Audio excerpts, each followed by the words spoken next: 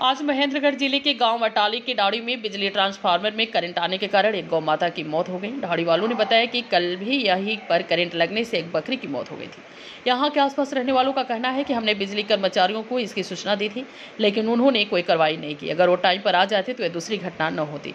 जैसे ही इस घटना की जानकारी गाँव के सरपंच महोदय अजीत सिंह यादव को मिली, वह तुरंत घटनास्थल पर पहुँचे और उन्होंने मौके पर बिजली कर्मचारियों को बुलाया और इस घटना की जानकारी सभी ग्रामवासियों के सहयोग से गौ माता को आदर सम्मान के साथ दफनाया गया। इस मौके पर पुलिस प्रशासन भी आ चुका था। ग्रामवासी ढाड़ी वालों का कहना है कि ट्रांसफार्मर की टंकी कहीं और लगाई जाए, ताकि यहाँ पर आगे से कोई अनहोनी ना हो। आज तो यह दो घटनाएँ हुई हैं। कल को इसी इंसान की भी जान जा सकती है। बड़ी बड़ी है, सारी पंचायत की।